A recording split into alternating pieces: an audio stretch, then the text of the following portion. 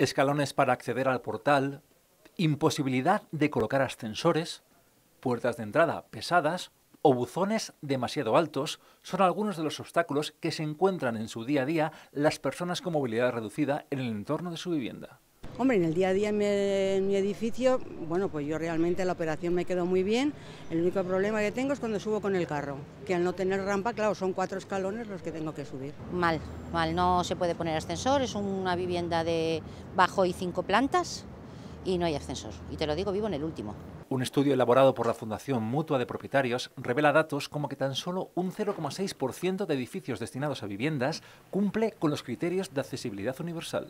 En la Fundación Mutua de Propietarios somos muy conscientes de los problemas de accesibilidad de las personas con movilidad reducida y por eso hemos decidido hacer un estudio para poder tener datos objetivos sobre esta problemática. Hemos visto que tan solo el 63% de los edificios son plenamente accesibles desde la calle al portal, que un 22% carece de ascensor y que tan solo un 29% tiene videoportero.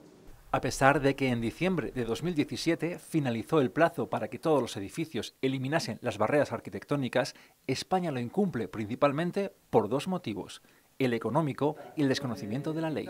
Una es el desconocimiento por parte de la ciudadanía de los derechos que le amparan a la hora de adaptar su, comunidad a las personas con movilidad reducida. Hemos eh, descubierto que el 70% de las personas eh, ignoraban esa posibilidad de poder reclamar eh, esos, esos cambios.